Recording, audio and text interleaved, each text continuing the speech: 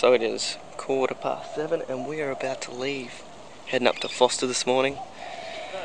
So yeah, just uh, finally packed the car. Car's all packed. Maybe a bit overkill there with the amount of rods, considering that's what I'll probably fish out of most of the time. Car's packed, about to get on the road. See you on the road. Okay, so I guess there wasn't much premise to this video this morning when I left. But essentially, I am heading to Forster this weekend. Uh, with the girlfriend and her family, celebrating her old man's 60th birthday and gonna do a bit of fishing. So I thought I'd take you guys along. I've never fished Forster before.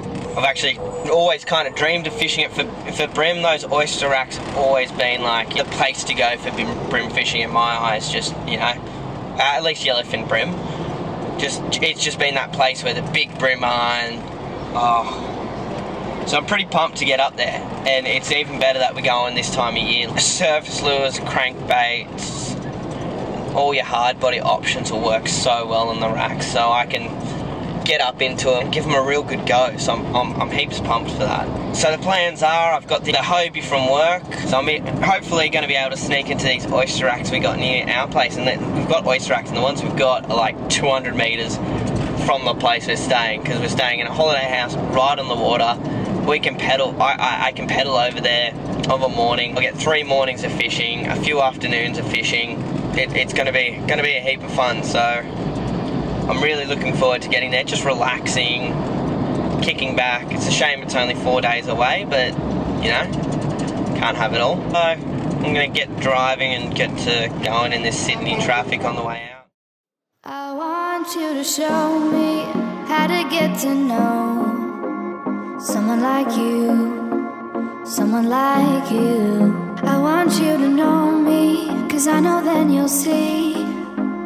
We could be true, we can be. Alright, I've made it. I'm here. Real good drive, made good time, even stopped, had a good break. Everything, everything went well, so I'm gonna duck inside. Looks, oh, looks like a good place. Awesome. Like look through there, straight onto the water straight onto it. Oh, look at that. See, even a boat ramp here. Out in the Hobie finally for a fish. Last fish I had was just off the off the jetty.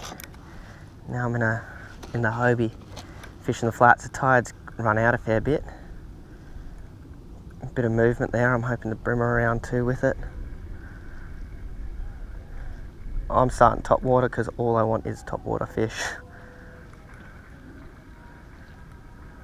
Just going to work this point round and then on the edge of the racks, work it up round. I have got an hour of fishing time this Arvo. Hour of fishing time for day one. Ooh, something just flicked in front of me. Definitely hoping for some whiting straight up. Ooh, a couple of pelicans hunting the bank there. That's a good sign fish across this channel and then hope to get violated. Oh, cool. Look up there, guys. It's a sea, sea eagle. How cool is that? What a beautiful, beautiful creature. Look at him. Oh, jeez. That's so cool. Oh. Oh, I've had a hit. That's a that's a plus.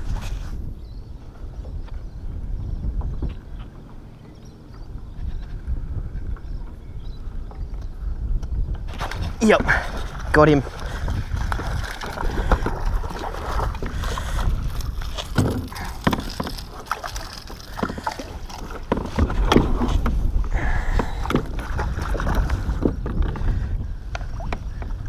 Oh, that's one. First bream of the trip.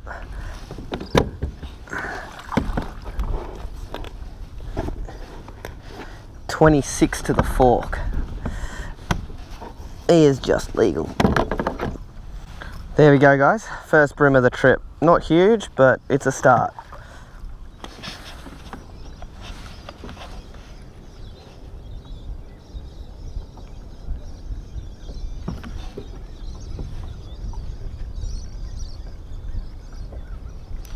Oh, yep. Oh, yep. Good fish, good fish. Gone. busted me. Straight in under there. Look at that. Absolutely shredded my leader. Alright, so I was just obviously out there and headed back for dinner, but after two bust offs on 10 pound, I've, I've got to go to 16. I'm just going to run a short leader this time. It's fluorocarbons. It's got a bit more abrasion resistance, but you know the downside to that is it does sink. So I'm just going to run the leader a bit shorter, so there's not so much pull down on the lure. I don't know, bit of fun, but day one and I've lost two lures, so it's a bit of a downer. But today's effort, like the fish came on the loco. I threw a few other things. I threw the plastic around, threw a crankbait around, but the locos got the hit, little walkers, and I'm pretty sure most other walkers would have gotten the hits too. They just weren't hitting poppers, weren't hitting many other options on the surface. So try this tomorrow morning, uh, change the rigging up, put some stinger hooks on it, smaller treble, and we'll see how we go. Good morning guys, welcome to morning two of Forster. I had a good night's sleep last night and I'm going to go back to around the area where I was getting the fish before. Looks like the tide's running out a little, so I'm going to focus on focus on the similar areas I did yesterday. I'm just going to try to get in as much fishing as possible. It is six o'clock in the morning, quarter past six in the morning. I've got at least, I reckon, I think I have at least until midday to fish, and then it's off to do family activities. We can be true. I want you to see what I see in us. Something so real, something so real. I want you to see that this is a love that we both feel,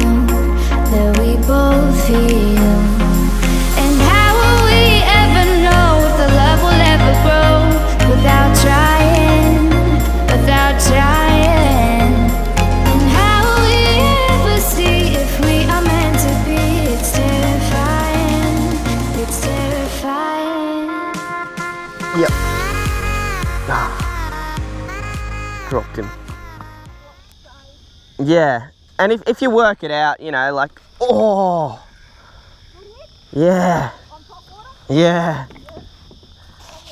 yeah.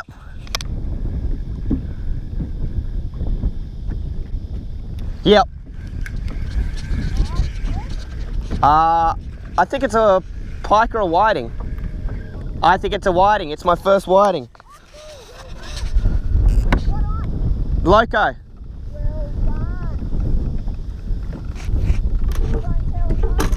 Yeah. Just continuous. He had a few mates with him too.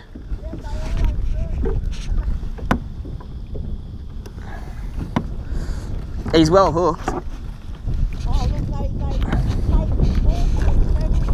Yes. There we go guys. Just got that whiting on top water. First whiting on top water. So I'm pretty excited. Caught heaps of them on uh, on other techniques, but that's, oh, that's just awesome. I'm so happy. That's one thing ticked off the list of goals for this weekend, so let's see what else we can do.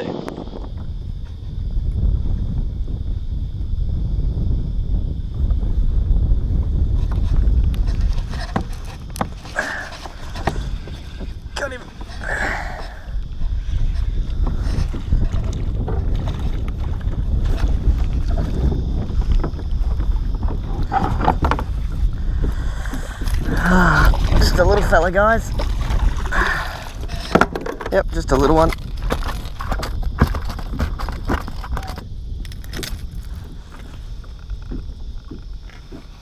There we go, guys, an oyster muncher himself. Little, little bream. Ate the loco in the racks. Fun. Alright guys, let's go over two techniques that I've been using today. Um, fishing top water over the flats and racks. This is what I really want to do all weekend, so it's great. It's what got me the whiting and it's what got me a heap of bream today. And it's, you know, 10 o'clock and they're still eating slowly on top water. I've got two techniques and one's a, one's a real just burn and I'm burning that surface lure as quick as I can over the surface. I'm trying to get it kicking around, looking like a skittering prawn, get him into kind of that reaction, that reaction bite. Next is just the slow walk, as always, just kick, kick, kick, get it kicking side to side, and then a pause. And then, actually, there's real three techniques, and then there's the in between, which is a, the fast burn and big long pause. I'm finding all these techniques are kind of getting the, they're all getting bites. It's just using the right one for the right place for the right fish. So it's just pretty much just mixing it up until I get the bite.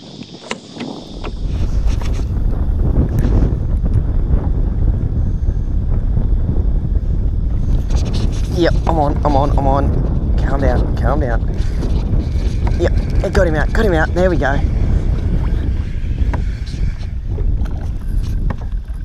Ah, that's a Mr. Whiting. Mr. Whiting again. Yes, Mr. Whiting.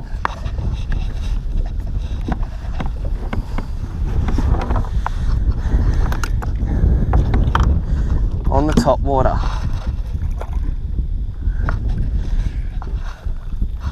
There we go, another one on top water, another whiting. Good fun.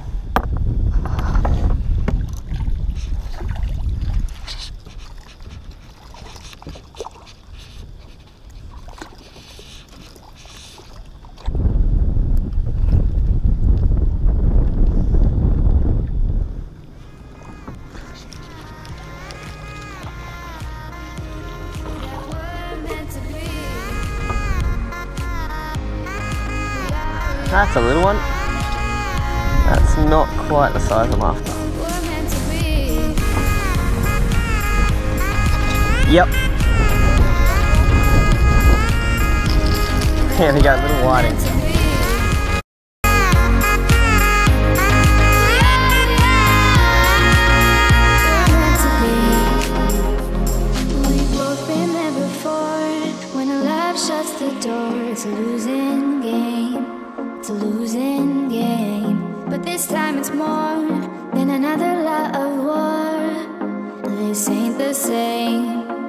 This ain't the same. They say love heals all It makes it all alright. In time In time. My heart still feels the breaking But you make my world so bright. It feels so right. It feels so right.